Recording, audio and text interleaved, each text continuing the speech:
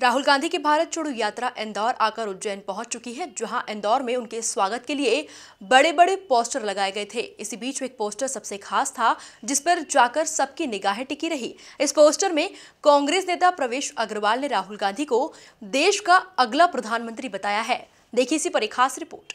इंदौर से निकली राहुल गांधी की भारत जोड़ो यात्रा। एक पोस्टर ने सबका ध्यान अपनी तरफ़ खींचा। पोस्टर में राहुल गांधी को बताया अगला प्रधानमंत्री। कांग्रेस नेता प्रवेश अग्रवाल ने लगाया था पोस्टर। दरअसल राहुल गांधी की भारत जोड़ो यात्रा महू के रास्ते इंदौर आई थी। इस यात्रा के दौरान हज़ारों पोस्टर लगाए गए थे। लेकिन इनके बीच एक पोस्टर सुर्खियाँ बटोर ले गया और आने वाले वक्त में राहुल गांधी को देश का अहम किरदार बता गया।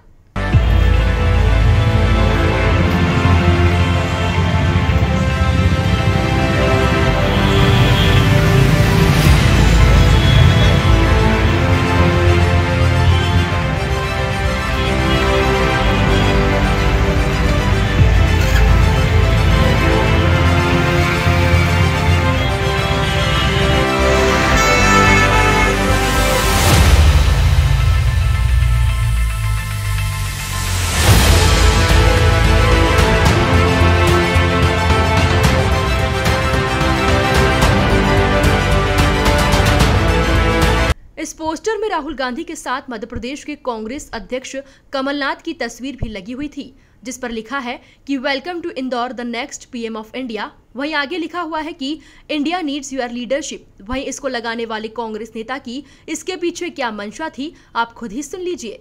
राहुल गांधी जी, जिस त्याग, समर्पण और सेवा भाव से सादगी के साथ पैंतीस किलोमीटर लंबी ऐतिहासिक यात्रा, पैदल यात्रा कर रहे हैं वो आज तक ना देश में, ना ही विश्व में किसी नेता ने की है। और आज मुझे ऐसा लगता है कि जब हमारा देश इक्कीसवीं शताब्दी का बढ़ता हुआ, विश्व का सबसे बड़ा लोकतंत्र है, प्रगति पथ पर अग्रसर है तो सबसे आदर्श प्रधानमंत्री सिर्फ़ और सिर्फ़ राहुल गांधी जी हो सकते हैं। और यह मैं एक कांग्रेसी होने के नाते नहीं कह रहा हूँ। मैं यह बात एक अपने देश के आवाम के दिल की बात कह रहा हूँ। मैं ये बात खुद पढ़ा लिखा नौजवान देश के होने के नाते कह रहा हूँ। क्योंकि मैं व्यक्तिगत तौर से राहुल गांधी जी से मुझे दो तीन बार मिलने का मौका मिला।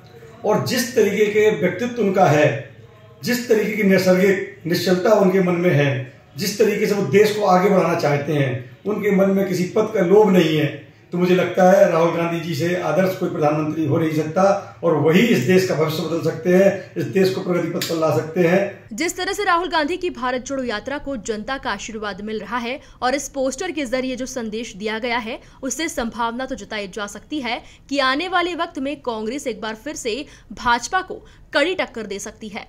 Bureau report, MP news, Indore.